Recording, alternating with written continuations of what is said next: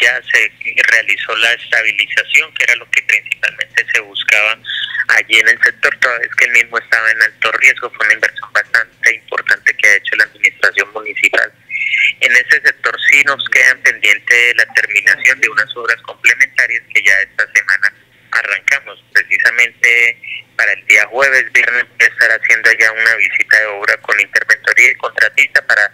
chequear cómo la terminación de, estas obras. Y lo que sí es que nos estuvimos eh, nos se, trasladó el personal para atender también hacia el sector de los lagos sabes que este aún no se ha terminado de estabilizar. Estamos en los trámites administrativos porque se requirió hacer un adicional para eh, la, la culminación de estas obras complementarias del cual ya se surtió